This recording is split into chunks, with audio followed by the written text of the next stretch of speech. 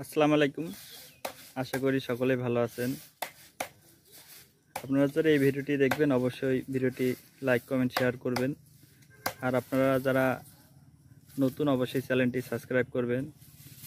আমি আজকে আমার যে ঘাসের প্রজেক্টটিতে রয়েছি, এখান থেকে আমি প্রায় চারবারের মতো ঘাস সংগ্রহ করেছি। এবার পঞ্চমবারের মতো ঘাস কাটা হচ্ছে এই জমি থেকে।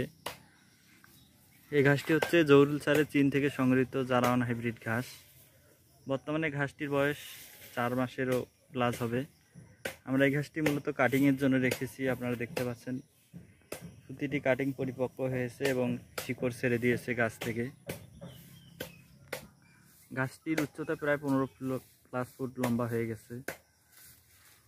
এই ঘাসের ফলন বর্তমানে মাসাল্লাহ বাংলাদেশে যতগুলো ঘাস রয়েছে, তার মধ্যে সেরা ঘাস বর্তমানে জারান হাইব্রিড ঘাস, যা খামারের জন্য উপযোগী একটি ঘাস।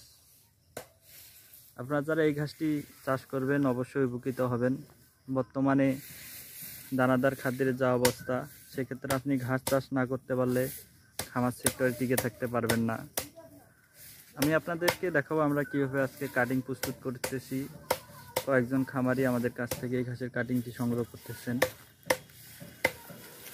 আপনারা চাইলে আমার কাছ থেকে এই ঘাসের কাটিংগুলো সংগ্রহ করতে পারেন। আমাদের কাছে প্রায় পর্যাপ্ত পরিমাণে কাটিং রয়েছে। আর বর্তমানে ঘাস চাষের উপযুক্ত সময়। আপনারা লক্ষ্য করুন, আমরা কীভাবে দুই গেটের কাটিং প্রস্তুত করতেছি। আমাদের প্রায় প্রতিটি কাটিং শিকড়যুক্ত কাটিং রয়েছে এবং কি পরিপক্ক।